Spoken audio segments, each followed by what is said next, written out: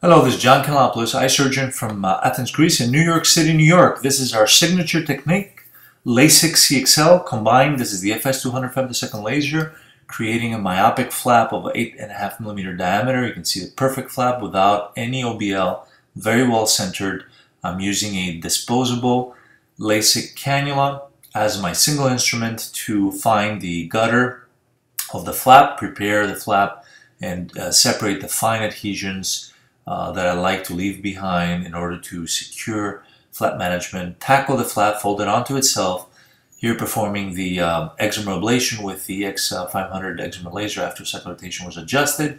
And following the completion of the ablation, uh, very carefully placing 0.1% uh, riboflavin solution.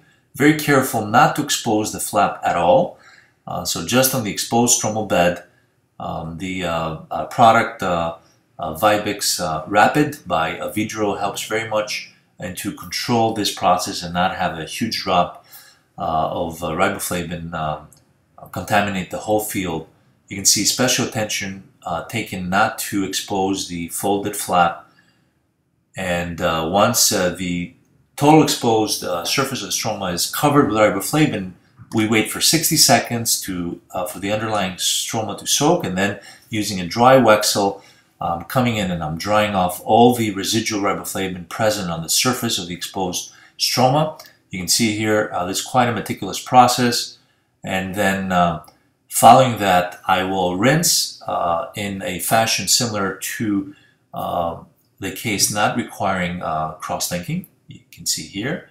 And the whole purpose of this technique, uh, which I should add, we introduced in 2006, first publication in uh, as an uh, abstract in 2009.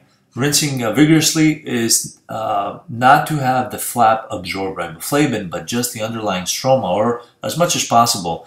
Here I'm using a drop of uh, suspension steroid to delineate my flap gutter and, and, help me with centration. I'm using a Johnston applanator to iron uh, the uh, flap onto the underlying stroma, just the way I would finish any routine LASIK case without cross-linking.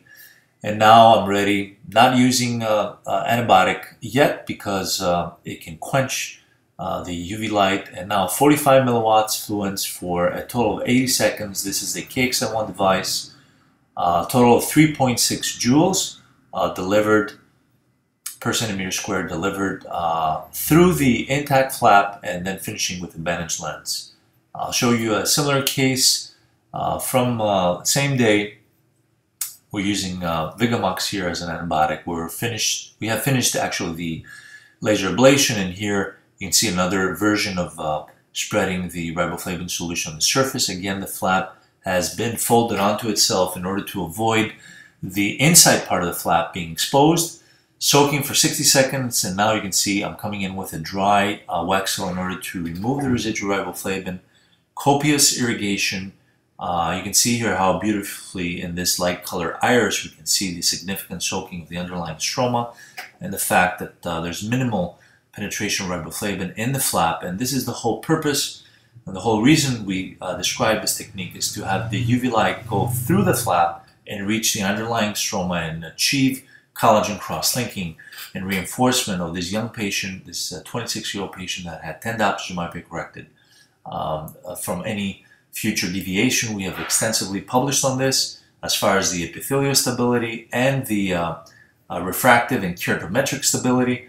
This is the other eye of the same patient. Again, I'm just spending a few more seconds in uh, trying to illustrate the way the uh, uh, riboflavin solution, this is 0.1% riboflavin solution by Avedro. It's called uh, VibeX Rapid. And I am drying it off after the uh, soaking, 60 second soakings is completed. And uh, following that, uh, collagen cross-linking will ensue for a total of uh, 80 seconds, 45 milliwatts. I hope you found this presentation interesting. This is John Kanellopoulos signing out. Thank you very much for your attention.